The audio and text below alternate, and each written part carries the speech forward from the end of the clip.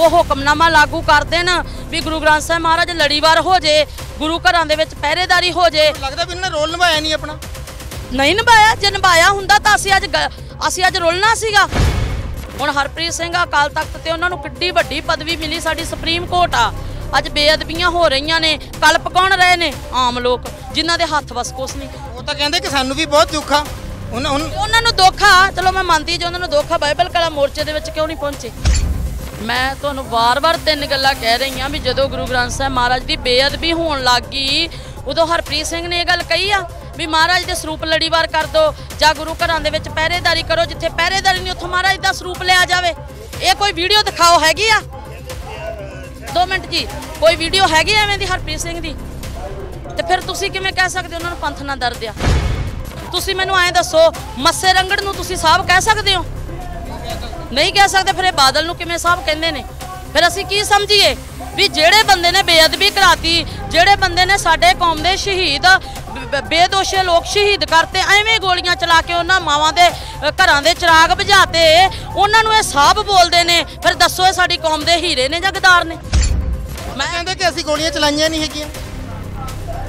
ਤੁਹਾਡਾ ਘਰ ਆ ਨਾ ਤੁਹਾਡੇ ਘਰ ਦੇ ਵਿੱਚ ਮੈਂ ਚਲੀ ਜਾਵਾਂ ਤੇ ਗਵਾਂਢੀ ਆ ਕੇ ਤੁਹਾਡੇ ਘਰ ਦਾ ਮੇਰੇ ਨਾਲ ਲੜੇ, ਤੁਸੀਂ ਕੀ ਕਹੋਗੇ ਵੀ ਮੇਰਾ ਘਰ ਆ, ਤੂੰ ਕੌਣ ਹੁੰਦਾ ਲੜਨ ਵਾਲਾ?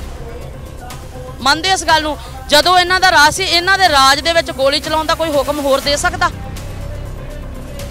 ਰਾਜ ਬਾਦਲਾਂ ਦਾ ਹੋਵੇ, ਕੈਪਟਨ ਹੁਕਮ ਕਰ ਸਕਦਾ ਵੀ ਗੋਲੀ ਚਲਾ ਦਿਓ ਹਾਂ ਜਾਂ ਨਾ ਜਵਾਬ ਦਿਓ, ਨਹੀਂ?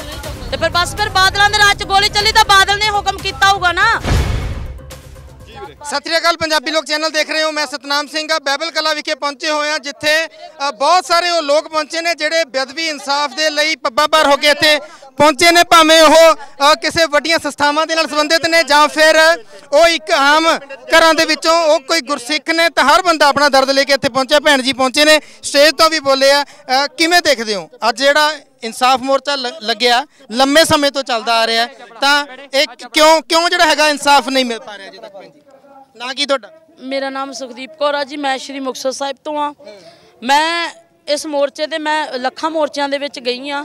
ਪਰ ਅਸੀਂ ਐ ਨਹੀਂ ਕਹਿੰਦੇ ਵੀ ਅਸੀਂ ਬਹੁਤ ਮਹਾਨ ਆ। ਅਸੀਂ ਤਾਂ ਇੱਕ ਚਰਨਾਂ ਦੀ ਧੂੜਾ ਸੰਗਤ ਦੇ।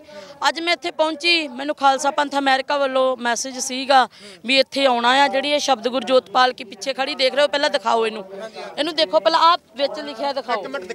ਆ ਸਭ ਕੁਝ ਦਿਖਾਓ। ਇਹ ਕੱਲੀ ਕੱਲੀ ਚੀਜ਼ ਨੂੰ ਪਹਿਲਾਂ ਦਿਖਾਓ ਮਾਈਕ ਦੇ ਵਿੱਚ ਇਹਦੇ ਵਿੱਚ ਕੈਮਰੇ 'ਚ। ਹਾਂਜੀ ਆ ਗਿਆ ਕੈਮਰੇ ਆ ਗਿਆ। ਇਹ 10 ਤਰੀਕ ਨੂੰ ਟੁੱਟੀ ਗੰਢੀ ਦਰਬਾਰ ਸਾਹਿਬ ਤੋਂ ਯਾਤਰਾ ਆਰੰਭ ਹੋਈ ਆ। ਇਹ ਯਾਤਰਾ ਇਸ ਕਰਕੇ ਆਰੰਭ ਹੋਈ ਆ ਕਿ ਤੁਹਾਨੂੰ ਪਤਾ ਹੈ ਕਿ ਧੰਨ ਧੰਨ ਸਾਹਿਬ ਸ੍ਰੀ ਗੁਰੂ ਗ੍ਰੰਥ ਸਾਹਿਬ ਮਹਾਰਾਜ ਦੀ 2015 ਤੋਂ ਲੈ ਕੇ ਅੱਜ ਤੱਕ, ਹੁਣ ਤੱਕ ਲਗਾਤਾਰ ਬੇਅਦਬੀ ਹੁੰਦੀ ਆ ਰਹੀ ਆ। ਸਾਨੂੰ ਸਾਡੇ ਗੁਰੂ ਮਹਾਰਾਜ ਦੇ ਨਾਲ ਪਿਆਰ ਆ। ਅਸੀਂ ਨੰਗੇ ਪੈਰੀ ਤੁਰੇ ਆ, ਸੰਗਤ ਤੁਰੀ ਆ। ਮੈਂ ਨਹੀਂ ਕਹਿੰਦੀ ਮੈਂ ਤੁਰੀਆਂ ਸੰਗਤ ਤੁਰੀ ਆ। ਅਸੀਂ ਪਿੰਡੀ ਪਿੰਡੀ ਜਾਂਦੇ ਆ। ਅੱਜ ਪਿੰਡਾਂ ਦੇ ਵਿੱਚੋਂ ਸਾਨੂੰ ਜਵਾਬ ਮਿਲਦਾ, ਦੱਸੋ ਜੀ ਬੇਅਦਬੀ ਹੋਈ ਕਿੱਥੇ ਆ? ਬੜਾ ਦਰਦ ਹੁੰਦਾ ਕਿ ਲੋਕਾਂ ਨੂੰ ਪਤਾ ਨਹੀਂ ਲੱਗਦਾ ਬੇਅਦਬੀਆਂ ਹੋ ਰਹੀਆਂ ਨੇ, ਬੇਅਦਬੀਆਂ ਰੁਕੀਆਂ ਹੀ ਨਹੀਂ। ਮਹਾਰਾਜ ਦੀ ਬਾਣੀ ਪੜ੍ਹ ਕੇ ਦੇਖੋ, ਲਗਾ ਮਾਤਰਾ ਦੇ ਨਾਲ ਛੇੜਛਾੜ ਕਰਕੇ ਮਹਾਰਾਜ ਦੀ ਬਾਣੀ ਦੀ ਬੇਅਦਬੀ ਕੀਤੀ ਪਈ ਆ। ਅੱਜ ਅਸੀਂ ਇੱਥੇ ਬਾਈਬਲ ਕਲਾ ਮੋਰਚੇ ਦੇ ਵਿੱਚ ਪਹੁੰਚੇ ਆ ਪਹਿਲੀ ਗੱਲ ਤਾਂ ਮੈਂ ਜਾ ਕੇ ਉੱਥੇ ਬਹੁਤ ਮਿੰਤ ਨਾਲ ਹੀ ਟਾਈਮ ਲਿਆ ਆ ਵੀ ਮੈਂ ਇੱਥੇ ਬੋਲਣਾ ਜੀ, ਉਸ ਤੋਂ ਬਾਅਦ ਮੈਂ ਜਾਣਾ ਆ। ਉੱਥੇ ਕੀ ਆ, ਉਹ ਕਹਿੰਦੇ ਬੀਬੀ ਜੀ, ਅੱਧਾ ਮਿੰਟ ਬੋਲਿਓ।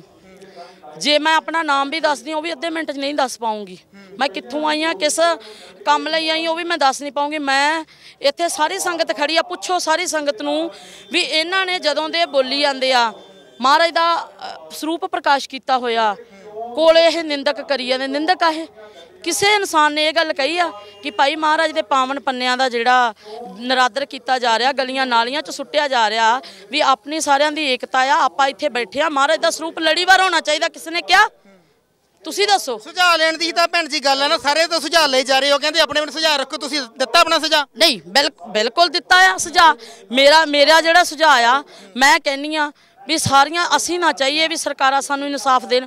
ਕਿਉਂਕਿ 47 ਵੇਲੇ ਸਰਕਾਰਾਂ ਨੇ ਇਨਸਾਫ ਦਿੱਤਾ 84 ਵੇਲੇ ਸਰਕਾਰਾਂ ਨੇ ਇਨਸਾਫ ਦਿੱਤਾ ਫਿਰ ਅੱਜ ਕਿਹੜੀਆਂ ਸਰਕਾਰਾਂ ਇਨਸਾਫ ਦੇਣਗੀਆਂ? ਬੇਦਮੀਆਂ ਦੇ ਪਿੱਛੇ ਜ਼ਿੰਮੇਵਾਰ ਕੌਣ ਆ ਭੈਣ ਜੀ? ਦੇਖੋ ਜੀ ਜ਼ਿੰਮੇਵਾਰ ਸਾਡੀਆਂ ਨਗੇਲੀਆਂ ਸਾਡੀਆਂ ਆਪਦੀਆਂ ਨਗੇਲੀਆਂ ਸ਼ੇਰ ਦੇ ਜੰਜਾਲ ਦੇ ਵਿੱਚੋਂ ਜੇਕਰ ਕੋਈ ਚੀਜ਼ ਲਈ ਜਾਵੇ ਤਾਂ ਸ਼ੇਰ ਜ਼ਿੰਮੇਵਾਰ ਆ ਉਹ ਸੁੱਤਾ ਆ।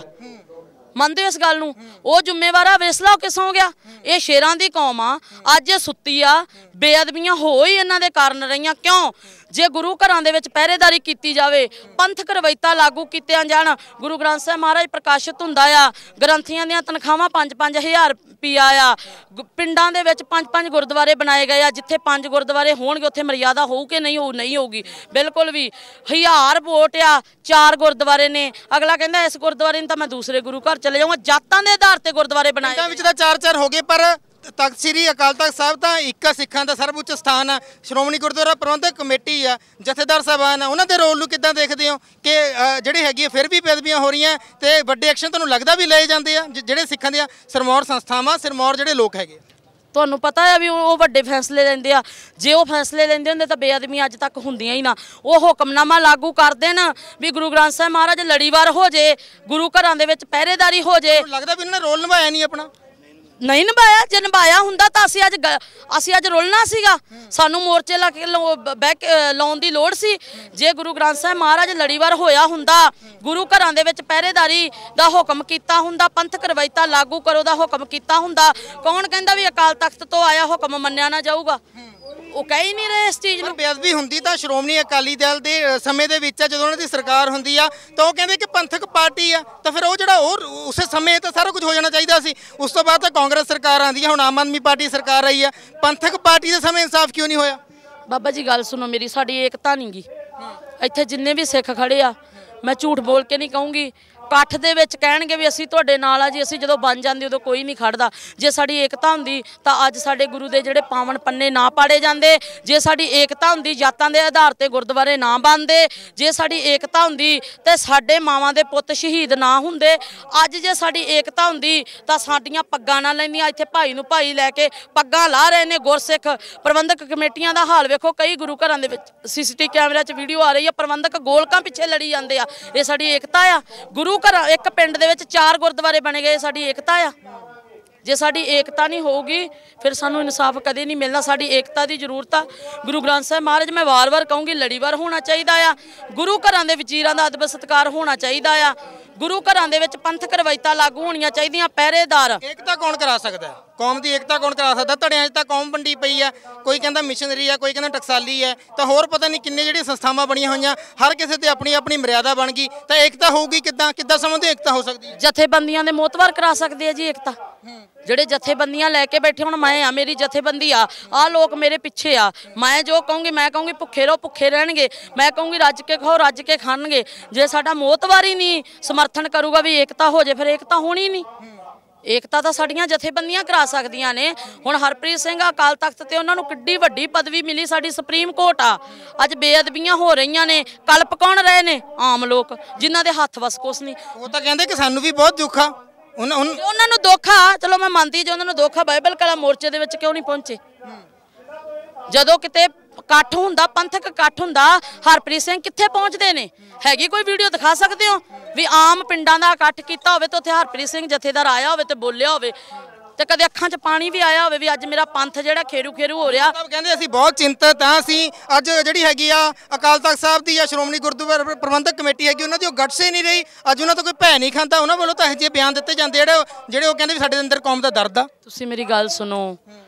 ਮੈਂ ਤੁਹਾਨੂੰ ਵਾਰ-ਵਾਰ ਤਿੰਨ ਗੱਲਾਂ ਕਹਿ ਰਹੀ ਹਾਂ ਵੀ ਜਦੋਂ ਗੁਰੂ ਗ੍ਰੰਥ ਸਾਹਿਬ ਮਹਾਰਾਜ ਦੀ ਬੇਅਦਬੀ ਹੋਣ ਲੱਗੀ ਉਦੋਂ ਹਰਪ੍ਰੀਤ ਸਿੰਘ ਨੇ ਇਹ ਗੱਲ ਕਹੀ ਆ ਵੀ ਮਹਾਰਾਜ ਦੇ ਸਰੂਪ ਲੜੀਵਾਰ ਕਰ ਦੋ ਜਾਂ ਗੁਰੂ ਘਰਾਂ ਦੇ ਵਿੱਚ ਪਹਿਰੇਦਾਰੀ ਕਰੋ ਜਿੱਥੇ ਪਹਿਰੇਦਾਰੀ ਨਹੀਂ ਉੱਥੋਂ ਮਹਾਰਾਜ ਦਾ ਸਰੂਪ ਲਿਆ ਜਾਵੇ। ਇਹ ਕੋਈ ਵੀਡੀਓ ਦਿਖਾਓ ਹੈਗੀ ਆ? ਦੋ ਮਿੰਟ ਜੀ ਕੋਈ ਵੀਡੀਓ ਹੈਗੀ ਐਵੇਂ ਦੀ ਹਰਪ੍ਰੀਤ ਸਿੰਘ ਦੀ? ਤੇ ਫਿਰ ਤੁਸੀਂ ਕਿਵੇਂ ਕਹਿ ਸਕਦੇ ਉਹਨਾਂ ਨੂੰ ਪੰਥ ਨਾਲ ਦਰਦ ਆ? ਕਹਿ ਸਕਦੇ ਕਹਿੰਦੇ ਅਸੀਂ ਨਹੀਂ ਕਹਿੰਦੇ। ਇੱਕ ਗੱਲ ਹੋਰ ਸੁਣੋ। ਤੁਸੀਂ ਸੁਣੋ ਸੁਣੋ। ਜਦੋਂ ਅਸੀਂ ਆ ਸ਼ਬਦ ਗੁਰੂ ਜੋਤਪਾਲ ਕੀ ਪਿੰਡਾਂ ਦੇ ਵਿੱਚ ਲੈ ਕੇ ਜਾਂਦੇ ਆ ਪਿੰਡਾਂ ਦੇ ਵਿੱਚ ਅੰਮ੍ਰਿਤ ਵੇਲੇ ਬਹੁਤ ਸਾਰੀ ਸੰਗਤ ਇਕੱਠੀ ਹੁੰਦੀ ਆ। ਲੋਕਾਂ ਦਾ ਬੜਾ ਵਧੀਆ ਰਿਸਪੌਂਸ ਮਿਲਦਾ। ਜਦੋਂ ਅਸੀਂ ਕਿਸੇ ਸ਼੍ਰੋਮਣੀ ਪ੍ਰਬੰਧਕ ਕਮੇਟੀ ਗੁਰਦੁਆਰੇ ਜਾਂਦੇ ਆ ਉਦੋਂ ਸਾਡੇ ਤੇ ਸੀਆਈਡੀ ਆ ਜਾਂਦੀ, ਉਦੋਂ ਹੀ ਪੁਲਿਸ ਆ ਜਾਂਦੀ ਆ। ਹੁਣ ਇਹਦਾ ਮਤਲਬ ਦਾ ਜਵਾਬ ਦਿਓ ਵੀ ਇਹ ਕੀ ਹੈ ਇੱਕ? ਇਹ ਇੱਕ ਸਿਆਸਤਾ। ਇਹ ਨਹੀਂ ਚਾਹੁੰਦੇ ਵੀ ਬੇਅਦਬੀਆਂ ਬੰਦ ਹੋ ਜਾਣ ਕਿਉਂਕਿ ਜਦੋਂ ਅਸੀਂ ਸ਼੍ਰੋਮਣੀ ਪ੍ਰਬੰਧਕ ਕਮੇਟੀ ਗੁਰੂ ਘਰ ਜਾਂਦੇ ਉਦੋਂ ਹੀ ਪੁਲਿਸ ਕਿਉਂ ਆਉਂਦੀ ਆ? ਤੁਸੀਂ ਸੁਝਾਅ ਕੀ ਦੇ ਕੇ ਆਏ ਹੋ ਅੱਜ ਇੱਥੇ? ਕਿ ਇਨਸਾਫ ਕਿੱਦਾਂ ਮਿਲ ਸਕਦਾ? ਅੱਜ ਸੁਝਾਅ ਦੇਣ ਦੇ ਲਈ ਸੰਗਤ ਇਕੱਠੀ ਹੋਈ। ਦੇਖੋ ਜੀ ਮੈਂ ਤਾਂ ਇਹ ਗੱਲ ਕਹੀ ਆ ਉਹਨਾਂ ਨੂੰ। ਉਹਨਾਂ ਨੂੰ ਬੁਰਾ ਲੱਗਿਆ ਹੋਊਗਾ ਮੈਨੂੰ ਨਹੀਂ ਪਤਾ। ਇਹਦੇ ਵਿੱਚ ਮੈਨੂੰ ਮੀਡੀਆ ਦੱਸ ਦੇ। ਆ ਸੰਗਤ ਆ ਮੈਂ ਸੰਗਤ ਦੇ ਮੇਰਾ ਸਿਰ ਇਹਨਾਂ ਦੀਆਂ ਜੁੱਤੀਆਂ ਮੈਨੂੰ ਇੱਕ ਗੱਲ ਸੰਗਤ ਦੱਸ ਦੇ ਵੀ ਮੈਂ ਕੁਝ ਗਲਤ ਬੋਲਿਆ। ਬਾਬਾ ਜੀ ਦੱਸੋ ਕੈਮਰਾ ਘਮਾਓ ਮੈਂ ਕੁਝ ਗਲਤ ਬੋਲਿਆ? ਕੁਝ ਨਹੀਂ ਗਲਤ ਬੋਲਿਆ ਬਿਲਕੁਲ 16 ਨੇ ਗੱਲ ਦੱਸੀ ਹੈ ਜੀ। ਕੀ ਕੀ ਗੱਲਾਂ ਜਿਹੜੀਆਂ ਕਿਹੜਾ ਵਿਚਾਰ? ਜਿਹੜੀਆਂ ਸੱਚੀਆਂ ਗੱਲਾਂ ਬੋਲੀਆਂ ਗਈਆਂ ਉਹ ਉਹਨਾਂ ਨੂੰ ਪਸੰਦ ਨਹੀਂ ਹੈਗੀਆਂ। ਉਹਨਾਂ ਨੂੰ ਕੋੜੀਆਂ ਲੱਗੀਆਂ। ਸੁਝਾਅ ਦੇਣ ਦੀ ਗੱਲ ਆ ਉਹ ਤਾਂ। ਜੀ ਹੁਣੀ ਉੱਥੋਂ ਆ ਗਏ ਉਹਨਾਂ ਨੇ ਉਸ ਟਾਈਮ ਲੌਸਮੈਂਟ ਕਰਤੀ ਵੀ ਇਹ ਚੀਜ਼ਾਂ ਨਾ ਬੋਲੋ ਫਿਰ ਕਿੱਥੇ ਬੋਲਣੇ ਫਿਰ ਕਾਹਦੇ ਹੱਥੇ ਬੁਲਾਇਆ? ਇਹੋ ਜੀ ਇਹੋ ਜੀ ਕਿਹੜੀ ਚੀਜ਼ ਬੋਲਤੀ ਭੈਣ ਜੀ ਤੁਸੀਂ? ਮੈਂ ਇਹ ਗੱਲ ਬੋਲੀ ਆ ਜੀ ਇਹ ਵਾਰ-ਵਾਰ ਕਹਿ ਰਹੇ ਆ ਵੀ ਜਦੋਂ ਬਾਦਲਾਂ ਦਾ ਰਾਜ ਆਉਂਦਾ ਜਦੋਂ ਬਾਦਲ ਸਾਹਿਬ ਦਾ ਰਾਜ ਆਉਂਦਾ ਉਦੋਂ ਅਹ, ਆਪਣਾ ਕੀ ਕਹਿੰਦੇ ਬੇਅਦਬੀ ਹੁੰਦੀ ਆ। ਤੁਸੀਂ ਮੈਨੂੰ ਐਂ ਦੱਸੋ ਮੱਸੇ ਰੰਗੜ ਨੂੰ ਤੁਸੀਂ ਸਾਹਿਬ ਕਹਿ ਸਕਦੇ ਹੋ? ਨਹੀਂ ਕਹਿ ਸਕਦੇ ਫਿਰ ਇਹ ਬਾਦਲ ਨੂੰ ਕਿਵੇਂ ਸਾਹਿਬ ਕਹਿੰਦੇ ਨੇ? ਫਿਰ ਅਸੀਂ ਕੀ ਸਮਝੀਏ ਵੀ ਜਿਹੜੇ ਬੰਦੇ ਨੇ ਬੇਅਦਬੀ ਕਰਾਤੀ ਜਿਹੜੇ ਬੰਦੇ ਨੇ ਸਾਡੇ ਕੌਮ ਦੇ ਸ਼ਹੀਦ ਬੇਦੋਸ਼ੇ ਲੋਕ ਸ਼ਹੀਦ ਕਰਤੇ ਐਵੇਂ ਗੋਲੀਆਂ ਚਲਾ ਕੇ ਉਹਨਾਂ ਮਾਵਾਂ ਦੇ ਘਰਾਂ ਦੇ ਚਿਰਾਗ ਬੁਝਾਤੇ ਉਹਨਾਂ ਨੂੰ ਇਹ ਸਾਹਿਬ ਬੋਲਦੇ ਨੇ। ਫਿਰ ਦੱਸੋ ਇਹ ਸਾਡੀ ਕੌਮ ਦੇ ਹੀਰੇ ਨੇ ਜਾਂ ਗਦਾਰ ਨੇ? ਉਹ ਕਹਿੰਦੇ ਉਹ ਤਾਂ ਉਹਨਾਂ ਨੂੰ ਤਾਂ ਪੰਥ ਰਤਨ ਦਾ ਖਿਤਾਬ ਦਿੱਤਾ ਹੋਇਆ ਜੀ ਕਮੇਟੀ ਵੱਲੋਂ। ਪੰਥ ਰਤਨ ਦਾ ਖਿਤਾਬ ਦਿੱਤਾ ਫਿਰ ਉਹਨੂੰ ਉਹਨੂੰ ਉਹਨੂੰ ਆਪਦੇ ਕੋਲੇ ਬਾ ਲੈਣ ਇਹ। ਨਾ ਇੱਕ ਪਾਸੇ ਤਾਂ ਉਹਨੂੰ ਕਹਿੰਦੇ ਇਹਨੇ ਬੇਅਦਬੀਆਂ ਕਰਾਈਆਂ ਇਹ ਗਦਾਰ ਆ। ਇੱਕ ਪਾਸੇ ਉਹਨੂੰ ਸਾਹ ਬੋਲਦੇ ਹੋ ਸਾਨੂੰ ਮਨਜ਼ੂਰ ਨਹੀਂ। ਅਸੀਂ ਆ ਬਦਾ ਆ ਜਿਹੜੀ ਅ, ਜ਼ਬਾਨ ਹੈ ਇਹਨੂੰ ਦੋਗਲੀ ਨਹੀਂ ਕਰਨਾ ਚਾਹੁੰਦੇ। ਜੇ ਗਦਾਰ ਆ ਭਾਵਾਂ ਉਹਨੂੰ ਪੰਥ ਦਾ ਖਿਤਾਬ ਮਿਲਿਆ ਹੋਵੇ ਜਿੱਥੇ ਉਹਨੇ ਗਦਾਰੀ ਕੀਤੀ ਆ ਉਹਦੇ ਉਸੇ ਟਾਈਮ ਗਦਾਰੀ ਦਾ ਟੈਗ ਲਾ ਦੇਣਾ ਚਾਹੀਦਾ ਆ। ਉਹ ਬੰਦੇ ਦਾ ਫੁਲਕਾ ਪਾਣੀ ਬੰਦ ਕਰ ਦੇਣਾ ਚਾਹੀਦਾ। ਆਏ 5 ਸਾਲਾਂ ਦੇ ਵਿੱਚ ਘਰਾਂ ਘਰਾਂ ਦੇ ਵਿੱਚ ਉਹਨਾਂ ਦੀ ਰੋਟੀ ਹੁੰਦੀ ਆ ਵੋਟਾਂ ਪਾਉਂਦੇ ਨੇ ਆ ਗਾਤਰਿਆਂ ਵਾਲੇ ਹੀ ਨਾਲ ਹੁੰਦੇ ਨੇ ਉਹਨਾਂ ਦੇ ਪਹਿਰੇਦਾਰ ਬਣ ਕੇ ਰਹਿੰਦੇ ਨੇ। ਫਿਰ ਦੱਸੋ ਜੀ ਅਸੀਂ ਇਹਨਾਂ ਨੂੰ ਕੀ ਸਮਝੀਏ? ਸੁਖਬੀਰ ਸਿੰਘ ਬਾਦਲ ਹੋ ਤਾਂ ਹੁਣ ਕਹਿੰਦੇ ਕਿ ਅਸੀਂ ਤਾਂ ਬਹੁਤ ਜਿਹੜਾ ਸੰਘਰਸ਼ ਕਰ ਰਹੇ ਬੰਦੀ ਸਿੰਘਾਂ ਦੀ ਰਿਹਾਈ ਦੇ ਲਈ। ਉਹ ਕਹਿੰਦੇ ਸਾਥੋਂ ਵੱਡੀ ਪੰਥਕ ਪਾਰਟੀ ਕੋਈ ਹੋ ਨਹੀਂ ਸਕਦੀ। ਸੁਣੋ ਬਾਦਲਾਂ ਦਾ ਰਾਜ ਨਹੀਂ ਆਇਆ। ਲਗਾਤਾਰ ਰਾਜ ਕੀਤਾ। ਉਦੋਂ ਇਹਨਾਂ ਦੀ ਸੋਚ, ਉਦੋਂ ਬੰਦੀ ਸਿੰਘ ਰਾਹ ਕਿਉਂ ਨਹੀਂ ਕਰਵਾਏ ਇਹਨਾਂ ਨੇ? ਜੇ ਇਹ ਗੋਲੀ ਕਰ, ਚਲਾ ਸਕਦੇ ਨੇ, ਰਿਹਾਈ ਦਾ ਇਹਨਾਂ ਕੋਲੇ ਅਹੁਦਾ ਨਹੀਂ। ਗੋਲੀ ਚਲਾਉਣ ਦਾ ਇਹਨਾਂ ਕੋਲੇ ਅਹੁਦਾ ਆ। ਅੱਛਾ, ਗੁਰੂ ਗ੍ਰੰਥ ਸਾਹਿਬ ਮਹਾਰਾਜ ਦੀ ਪਹਿਰੇਦਾਰੀ ਕਰਾਉਣ ਦਾ ਇਹਨਾਂ ਦੇ ਕੋਲੇ ਅਹੁਦਾ ਨਹੀਂ। ਅਕਾਲ ਤਖਤ ਦੀਆਂ ਗੋਲਕਾਂ ਦਾ ਇਹਨਾਂ ਕੋਲੇ ਅਹੁਦਾ ਆ। ਗੁਰੂ ਮਹਾਰਾਜ ਦੇ ਨਰਾਦਰ ਦਾ ਇਹਨਾਂ ਕੋਲੇ ਅਹੁਦਾ ਆ। ਤੇ ਆਪਣਾ ਸ਼ਹੀਦ ਹੋਏ ਸਿੰਘਾਂ ਦਾ ਇਨਸਾਫ ਦੇਣ ਦਾ ਇਹਨਾਂ ਕੋਲੇ ਅਹੁਦਾ ਨਹੀਂਗਾ ਮਹਾਰਾਜ ਦੀ ਬੇਅਦਬੀ ਕਰਾ ਸਕਦੇ ਉਹ ਅਹੁਦਾ। ਮਹਾਰਾਜ ਦਾ ਇਨਸਾਫ ਨਹੀਂ ਦੇ ਸਕਦੇ ਉਹ ਅਹੁਦਾ ਨਹੀਂ। ਇਹ ਪੰਥ ਦੇ ਨਾਲ ਗਦਾਰੀ ਕਰਦੇ ਆ ਫਿਰ ਅਕਾਲ ਤਖਤ ਤੇ ਕਿਹੜੇ ਮੂੰਹ ਨਾਲ ਜਾਂਦੇ ਆ? ਸਾਡੇ ਲੋਕ ਕਿਉਂ ਨਹੀਂ ਸੋਚਦੇ? ਇਹਨਾਂ ਨੂੰ ਪੰਜਾਬ ਦੀ ਧਰਤੀ 'ਚ ਵੜਨ ਕਿਉਂ ਦਿੰਦੇ ਆ? ਘਰ ਘਰ ਕਿਉਂ ਲਿਆਉਂਦੇ ਆ? ਕਿਉਂ ਵੋਟਾਂ ਪਾਉਂਦੇ ਆ? ਮੈਂ ਕਹਿੰਦੇ ਕਿ ਅਸੀਂ ਗੋਲੀਆਂ ਚਲਾਈਆਂ ਨਹੀਂ ਹੈਗੀਆਂ। ਤੁਹਾਡਾ ਘਰ ਆ ਨਾ? ਤੁਹਾਡੇ ਘਰ ਦੇ ਵਿੱਚ ਮੈਂ ਚਲੀ ਜਾਵਾਂ। ਤੇ ਗਵਾਂਢੀ ਆ ਕੇ ਤੁਹਾਡੇ ਘਰ ਦਾ, ਮੇਰੇ ਨਾਲ ਲੜੇ, ਤੁਸੀਂ ਕੀ ਕਹੋਗੇ ਵੀ ਮੇਰਾ ਘਰ ਆ, ਤੂੰ ਕੌਣ ਹੁੰਦਾ ਲੜਨ ਵਾਲਾ? ਮੰਨਦੇ ਇਸ ਗੱਲ ਨੂੰ? ਜਦੋਂ ਇਹਨਾਂ ਦਾ ਰਾਜ ਸੀ, ਇਹਨਾਂ ਦੇ ਰਾਜ ਦੇ ਵਿੱਚ ਗੋਲੀ ਚਲਾਉਣ ਦਾ ਕੋਈ ਹੁਕਮ ਹੋਰ ਦੇ ਸਕਦਾ? ਰਾਜ ਬਾਦਲਾਂ ਦਾ ਹੋਵੇ, ਕੈਪਟਨ ਹੁਕਮ ਕਰ ਸਕਦਾ ਵੀ ਗੋਲੀ ਚਲਾ ਦਿਓ ਹਾਂ ਜਾਂ ਨਾ ਜਵਾਬ ਦਿਓ, ਨਹੀਂ? ਤੇ ਫਿਰ ਬਸ ਫਿਰ ਬਾਦਲਾਂ ਦੇ ਰਾਜ 'ਚ ਗੋਲੀ ਚੱਲੀ ਤਾਂ ਬਾਦਲ ਨੇ ਹੁਕਮ ਕੀਤਾ ਹੋਊਗਾ ਨਾ। ਉਸ ਸਮੇਂ ਦੇ ਉਹਨਾਂ ਦਾ ਰਾਜ, ਉਹਨਾਂ ਦੇ ਰਾਜ 'ਚ ਗੋਲੀ ਚੱਲੀ ਤਾਂ ਫਿਰ ਦੋਸ਼ੀ ਕੌਣ ਆ? ਪੁਲਿਸ ਕਿਹਦੀ ਹੁੰਦੀ ਆ? ਉਹਨਾਂ ਦੀ ਸੀ ਪੁਲਿਸ। ਤੇ ਗੋਲੀ ਉਹਨਾਂ ਨੇ ਚਲਾਈ ਆ। ਗੱਲਾਂ ਸਾਰੀਆਂ ਦਾ ਪਤਾ ਭਾਜੀ ਸਾਰਿਆਂ ਨੂੰ ਸਾਰਾ ਪਤਾ ਆ ਵੀ ਕੀ ਹੋਇਆ ਆ। ਇਹ ਆਪਾਂ ਜਿੰਨਾ ਵਧਾਈ ਚੱਲਾਂਗੇ ਇਹ ਤਾਂ ਐਵੇਂ ਇੱਕ ਲੱਸੀ 'ਚ ਪਾਣੀ ਪਾਉਣਾ ਆ।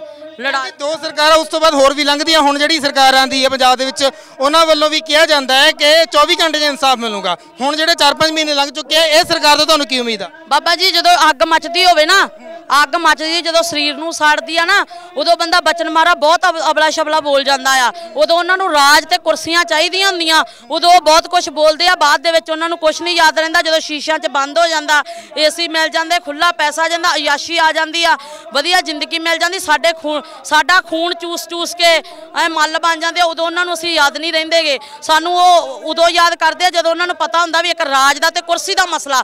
ਕੁਰਸੀ ਦੇ ਮਸਲੇ ਦੇ ਵਿੱਚ ਉਹ ਇਹ ਗੱਲਾਂ ਕਹਿ ਦਿੰਦੇ ਆ, ਇਨਸਾਫ ਸਾਨੂੰ ਸਰਕਾਰਾਂ ਨੇ ਨਹੀਂ ਦੇਣਾ। ਗੁਰੂ ਗੋਬਿੰਦ ਸਿੰਘ ਸਾਹਿਬ ਤਾਂ ਆਪ ਕਹਿ ਕੇ ਗਏ ਸੀ, ਕਹਿੰਦੇ ਮੈਂ ਤਾਂ ਪੰਥ ਦੇ ਚਰਨਾਂ ਦੀ ਧੂੜ ਆ, ਵੀ ਅਸੀਂ ਤਾਂ ਜੋ ਸੰਗਤ ਦਾ ਹੁਕਮ ਆ ਸਾਨੂੰ ਪਰ- ਮੱਥੇ ਪ੍ਰਵਾਨ ਹੈ ਦੇਖੋ ਜੀ, ਮੈਂ ਕਿਸੇ ਦੀ ਸੋਚ ਨੂੰ ਨਹੀਂ ਫੋਲੋ ਕਰ ਸਕਦੀ, ਮੈਂ ਤੁਹਾਡੇ ਅੰਦਰ ਕੀ ਆ, ਮੈਂ ਤੁਹਾਡੇ, ਮੈਂ ਕਿਸੇ ਦੇ ਖਿਲਾਫ ਨਹੀਂ ਬੋਲਣਾਗਾ। ਮੈਂ ਜੋ ਬੋਲਤਾ ਬੋਲਤਾ ਪਰ ਮੇਰੀ ਇੱਕੋ ਹੀ ਬੇਨਤੀ ਆ, ਜੇ ਅੱਜ ਇੱਥੇ ਮੋਰਚਾ ਲੱਗਿਆ ਆ ਮੈਂ ਇਸ ਮੋਰਚੇ ਦੇ ਵਿੱਚ ਆ ਕਿੰਨੇ ਸਿੰਘ ਆ, ਕਿਸੇ ਨੇ ਵੀ ਬੇਅਦਬੀ ਦਾ ਅਸੋ- ਅਫਸੋਸ ਨਹੀਂ ਕੀਤਾ। ਕਿਸੇ ਨੇ ਕਿਹਾ ਨਹੀਂ ਵੀ ਗੁਰੂ ਮਹਾਰਾਜ ਦੇ ਪਾਵਨ ਪੰਨੇ ਰੋਲ ਰਹੇ ਨੇ। ਭਾਈ ਗੁਰੂ ਗ੍ਰੰਥ ਸਾਹਿਬ ਮਹਾਰਾਜ ਦੀਆਂ ਲਗਾ ਮਾਤਰਾ ਦੇ ਨਾਲ ਛੇੜਛਾੜ ਕੀਤੀ ਜਾ ਰਹੀ ਆ। ਭਾਈ ਗੁਰੂ ਘਰਾਂ 'ਚ ਪਹਿਰੇਦਾਰੀ ਹੋਣੀ ਚਾਹੀਦੀ ਆ। ਭਾਈ ਪੰਥਕ ਰਵਾਇਤਾਂ ਲਾਗੂ ਹੋਣੀਆਂ ਚਾਹੀਦੀਆਂ। ਗ੍ਰੰਥੀ ਸਿੰਘਾਂ ਦਾ ਅਦਬ ਸਤਿਕਾਰ ਹੋਣਾ ਚਾਹੀਦਾ। ਇਹਨਾਂ ਪੰਜ ਗੱਲਾਂ ਦੇ ਵਿੱਚੋਂ ਮੈਂ ਇਹਨਾਂ ਦੇ ਮੂੰਹੋਂ ਇੱਕ ਗੱਲ ਨਹੀਂ ਸੁਣੀ। ਸੋ ਮੇਰੀਆਂ ਬੇਨਤੀਆਂ ਬੇਨਤੀ ਇਹੀ ਆ ਵੀ ਜਿੰਨਾ ਸਾਨੂੰ ਇਹ ਪੰਜ ਗੱਲਾਂ ਹੀ ਤਾਂ ਚਾਹੀਦੀਆਂ ਨੇ, ਇਹੀ ਇਸ ਮੋਰਚੇ ਦੇ ਵਿੱਚ ਹੈ ਨਹੀਂ ਗੀਆਂ। ਫਿਰ ਦੱਸੋ ਇਹ ਮੋਰਚਾ ਬੇਅਦਬੀਆਂ ਦਾ ਕਿਹੜਾ ਆ? ਮੈਨੂੰ ਸਮਝ ਨਹੀਂ ਆਈ ਇਸ ਮੋਰਚੇ ਦੀ। ਇਹ ਵਾਹਿਗੁਰੂ ਨੂੰ ਪਤਾ ਆ, ਅਕਾਲ ਪੁਰਸ਼ ਨੂੰ ਪਤਾ, ਮੈਂ- ਮਹਾਰਾਜ ਨੂੰ ਪਤਾ, ਮੈਨੂੰ ਕੁਝ ਨਹੀਂ ਪਤਾ ਇਸ ਚੀਜ਼ ਬਾਰੇ। ਸੋ ਬਿਲਕੁਲ ਹਰ ਕੋਈ ਆਪਣੇ ਵਿਚਾਰ ਲੈ ਕੇ ਇਸ ਮੋਰਚੇ ਦੇ ਵਿੱਚ ਆਇਆ, ਆਪਣੇ ਆਪਣੇ ਵਿਚਾਰ ਰੱਖੇ ਆ, ਪਰ ਸਹਿਮਤੀ ਮੱਖਣ ਉਦੋਂ ਨਿਕਲਦਾ ਜਦੋਂ ਰਿੜਕਿਆ ਜਾਂਦਾ ਦੁੱਧ ਨੂੰ। ਤਾਂ ਰਿੜਕਣਾ ਲੱਗਣਾ, ਰਿੜਕਣ ਤੋਂ ਬਾਅਦ ਕੀ ਕੁਝ ਨਿਕਲ ਕੇ ਸਾਹਮਣੇ ਆਂਦਾ ਤਾਂ ਸੰਗਤ ਫੈਸਲਾ ਕਰੇਗੀ ਸੰਗਤ ਦਾ ਫੈਸਲਾ ਕੀ ਹੁੰਦਾ ਹੈ, ਉਹ ਸਮਾਪਤੀ ਤੇ ਪਤਾ ਲੱਗੇਗਾ ਤੇ ਸੰਗਤ ਦੇ ਫੈਸਲੇ ਨਾਲ ਹੀ ਮੋਰਚੇ ਦੇ ਵਿੱਚ तमाम ਮੌਜੂਦ ਸਿੰਘਾਂ ਦਾ ਜਿਹੜਾ ਕਹਿਣਾ ਹੈ ਕਿ ਸੰਗਤ ਦੇ ਫੈਸਲੇ ਨਾਲ ਹੀ ਚੱਲਿਆ ਜਾਵੇਗਾ ਤਾਂ ਸੰਗਤ ਦਾ ਫੈਸਲਾ ਕੀ ਆਉਂਦਾ ਹੈ ਕੀ ਹੁਣ ਅੱਗੇ ਜਿਹੜਾ ਮੋਰਚਾ ਕਿਸ ਪਾਸੇ ਵੱਲ ਜਾਂਦਾ ਹੈ ਇਹ ਹੁਣ ਅ, ਸੰਗਤ ਦੇ ਫੈਸਲਾ ਆਉਣ ਤੋਂ ਬਾਅਦ ਹੀ ਪਤਾ ਲੱਗ ਸਕੇਗਾ ਸਤਨਾਮ ਸਿੰਘ ਪੰਜਾਬੀ ਲੋਕ ਚੈਨਲ ਬਾਈਬਲ ਕਲਾਂ